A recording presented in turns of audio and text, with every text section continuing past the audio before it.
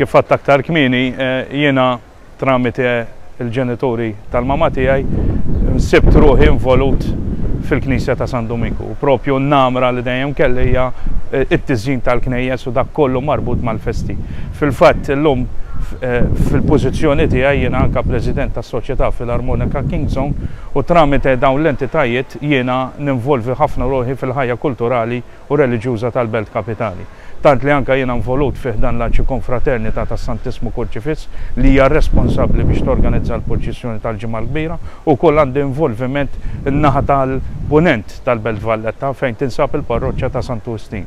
B'danakollu, jiena nagħti l-kontribut tiegħi u nittama li issa li qed noffri l-kandidatura tiegħi għall-Unjoni Ewropea, għall-Parlament tal-Unjoni Ewropea, inkun nista' minn hemmhekk nassisti aktar dawn l-għaqdiet.